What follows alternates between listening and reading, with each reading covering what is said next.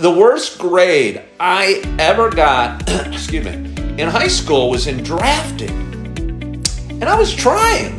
Do you guys remember drafting? They probably do it. Yeah, no, I've never been to Brazil. I'm sure it's beautiful and I'd love to see it go sometime. Drafting is like architecture, designing things, drawing. I don't know. They probably do it on computers these days, but we used to do it on pencils. With pencils, I mean, on a big board. They might still. Uh, and it was kind of like art meets math a little bit.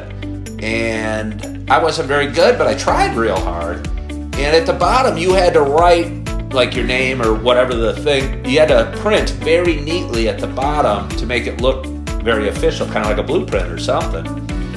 And my printing sucked. And I got a D in drafting.